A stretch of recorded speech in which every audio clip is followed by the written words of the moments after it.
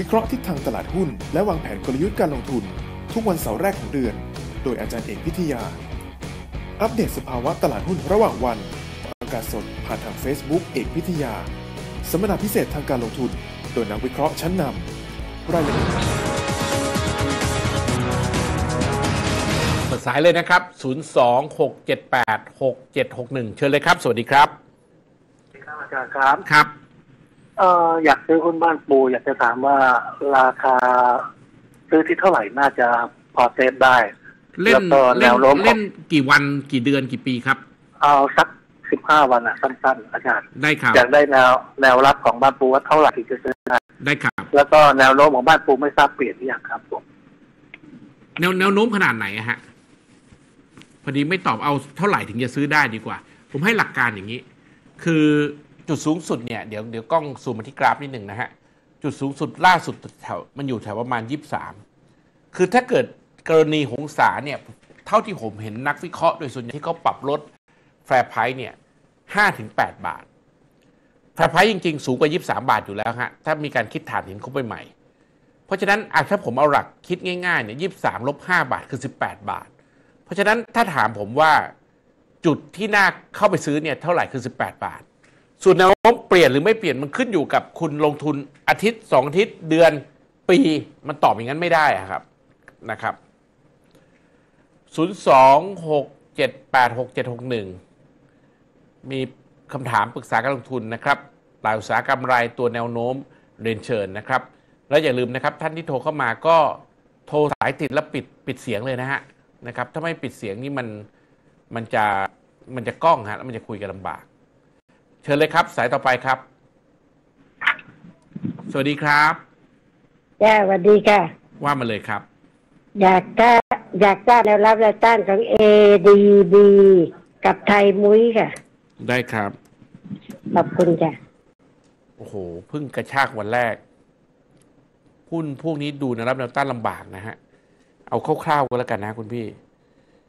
แนวต้านอยู่ประมาณบาท88กับ2บาท นะครับ แนวรับก็อยู่ประมาณบาท 37 ส่วนไทยมุ้ยก็คล้ายกันนะฮะเพิ่งวันนี้วันแรกตอบลำบากจริงๆเอ่อแนวรับ1.99นะแนวต้านอยู่ที่เนี่ย high วันนี้2บาท12 หรือ 2 บาท 27 ครับ สายต่อไปเรียนเชิญครับ สวัสดีค่ะ รบกวนสอบถาม SKE แนวรับแนวต้านค่ะ ได้ครับ ขอบคุณ เนี่ย pattern เดียวกันหมดเลยนะ เมื่อกี้กล้องซูมทันหรือเปล่าฮะสองอันแรกสามตัวนี้ pattern เดียวกันหมดเลยนะฮะเพิ่งกระชากวันนี้อันแรก แล้วแล้วไม่ใช่เพราะสามตัวนี้นะหุ้นที่หายไปนานแล้วเงียบไปเลยนะ วันนี้แพทเทิร์นนี้หมดเลย ผมไม่อยากใช้คำว่าปลุกผีนะครับ แต่ว่าเป็นแพทเทิร์นนี้หมดเลย ผมบอกนะรับนวต้นแล้วกันนะฮะแนวต้านนะครับ อยู่ที่ประมาณบาท 80 กับใกล้ๆ 2 บาท ส่วนแนวรับนะครับ อยู่บาท 57 ครับ สายต่อไปเรียนเชิญครับ สวัสดีครับอาจารย์ครับ ครับผมรบกวนอาจารย์ช่วยวิเคราะห์เอ่อสีตังให้หน่อยครับ ได้ครับ ขอบคุณครับ ถ้าดูจากกราฟเฉยๆนะ ไม่เด็ดนะครับ ดูจากตัวไซเคิลของยางนี่ผมไม่มั่นใจนะ มันเหมือนว่ามันต้องดีอะแต่ทำไมมันไม่ดีไม่รู้คือ คือผมคิดว่าคุณต้องไปดูว่า ภายในมันมีประเด็นอะไรหรือเปล่านะครับแต่ดูจากกราฟคือไม่ดีฮะนะครับดูจากกราฟคือพูดง่ายๆคืออย่าเพิ่งเข้าไป แต่ก่อนหน้านี้เนี่ยมีคนพูดถึงไซเคิลของคอมมูนิตี้ในลักษณะเดียวกับยางพาราเนี่ยมันควรจะค่อยๆฟื้นนะครับราคาน้ำมันก็เห็นแล้วก็ฟื้นนะครับต้องต้องไปดูเรื่องพวกนี้นะครับ แต่ดูจากกราฟคือยังไม่ค่อยน่าสนใจเท่าไหร่ 026786761 นะครับท่านที่มีคำถามปรึกษาการลงทุนเรียนเชิญนะครับ 026786761 สายต่อไปเรียนเชิญครับ ค่ะ ขอตัว RP นะคะ ตัวไหนนะฮะตัววิเคราะห์ RP RP ค่ะ RP ค่ะครับคำถามครับ ช่วย ช่วยวิเคราะห์หน่อยค่ะ เข้าไปรับได้ไหมคะวิอะเคราะถ้าห์เดี๋ยวก่อนแนวรับแนวต้องต้าต้อนงบอกก่อนว่าทำไมต้องรับตัวนี้ฮะหุ้นมีเจ็ดร้อยกว่าตัวมีเหตุผลไหมก็ฮะมันมีอยู่แล้วขาดทุนขาดจะทุนจะอยู่ซื้อเพิ่มใช่ไหมฮะ ค่ะ ต้นทุนเดิมเท่าไหร่ครับเก้า เก้าบาทกว่า เท่าไหร่นะฮะ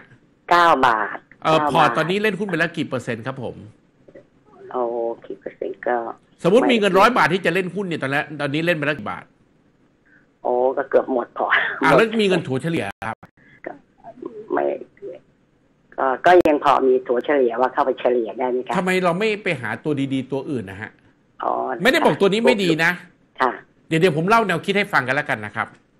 ดูไม่ค่อยเป็นด้วย เพิ่งเข้าไปเล่นไม่รู้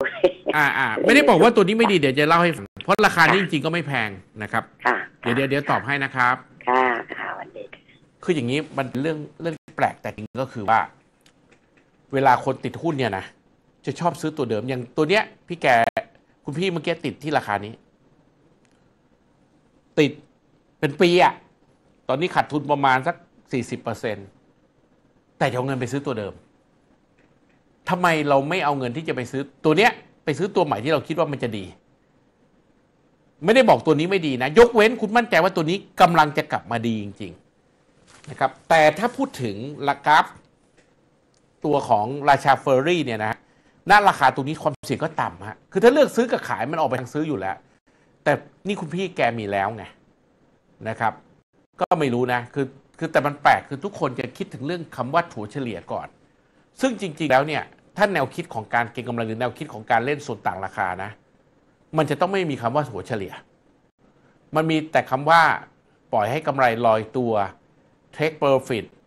นะครับคัดลอสมันมีแค่นั้นนะฮะ มันไม่มีคำว่าถัวเฉลี่ยนะฮะในแง่ของเก็งกำไรถัวเฉลี่ยเนี่ยมันจะเกิด ในแง่ของการลงทุนมากกว่าในมุมผมนะ อันนี้พูดถึงในมุมผมนะครับ พูดถึงในมุมผมคือ คือถัวเฉลี่ยเนี่ย มันจะต้อง ดูว่าหุ้นตัวนั้นอะมันดีจริง ๆ และถือยาว เพราะฉะนั้นมันยิ่งลงถึงยิ่งซื้อ มันก็จะเหมาะกับหุ้นที่เราตั้งใจถือยาว ไม่ใช่หุ้นที่เราตั้งใจจะเก่งกำไร อันนี้ผมคิดว่ามันน่าจะเป็นอย่างนั้นมากกว่า สายน่าจะได้สักสายนะฮะ0 2 6 7 8 6 7 6 1ถ้ามีคำถามปรึกษาการลงทุนก็เรียนเชิญครับ 0 2 6 7 8 6 7 6 1